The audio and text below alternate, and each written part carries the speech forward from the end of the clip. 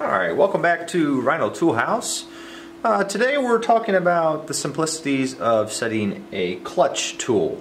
Uh, we are going to adjust the actual torque settings on a clutch tool. Today we have for you is the Desoutter Elite tool. The Desoutter Elite tool comes in a pistol grip form up to 12 newton meters and a right angle form up to 60 newton meters on a clutch tool.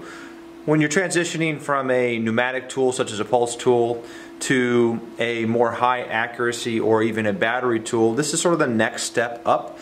This is a precision clutch tool, gets you to the plus or minus 10%.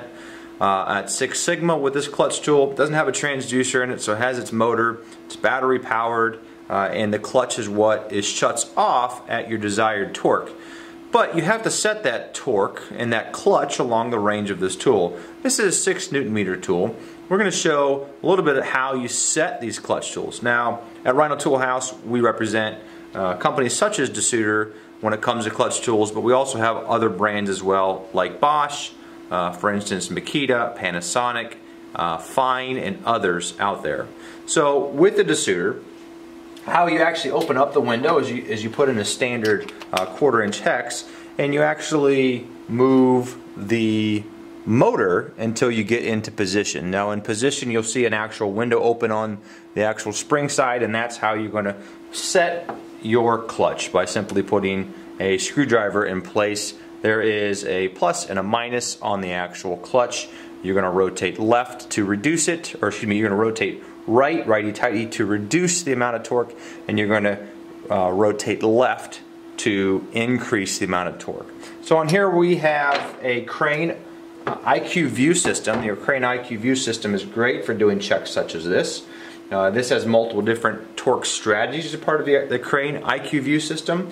We have a tracking system. We have a click dip strategy. We have a peak strategy, which is we're on set right now.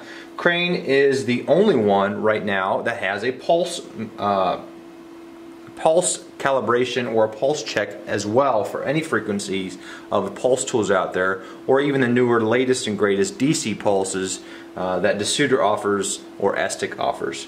There's also a yield strategy and there is a move on strategy with the Crane IQVu check feature that is on this Samsung tablet. So we're going to run it down. We have one of their we have one of their Checkstar multis here. Uh, this is a transducer, a rotary transducer that is going to read the torque that's on this Elite tool from Desoutter. So we run it down, we get 2.79 on the screen. I'm to back it off, let's run it down again. 2.8, run it down again, 2.8, and one more time, 2.76. So from there, I would like to increase my torque. I want to get up to about the 3 newton meter range. So again, I'm to put my Allen key inside the final drive. I'm to rotate the, mo the motor until I see the cutout, which uh, looks to be a half moon on the clutch. I'm to put my screwdriver in, and on this, for the actual Desoutter tool, I'm to rotate to the left. Rotating the left is going to increase my tension on my spring, which ultimately increases the torque value. I rotated it enough to be able to increase the torque value. We'll take this back out, make sure my joints actually unloosen, and then we're going to tighten down.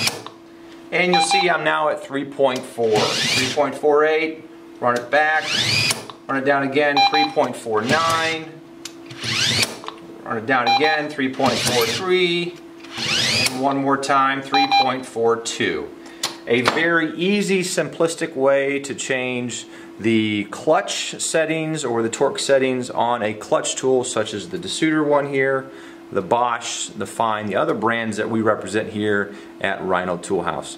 Thank you so much for watching. Have a wonderful day.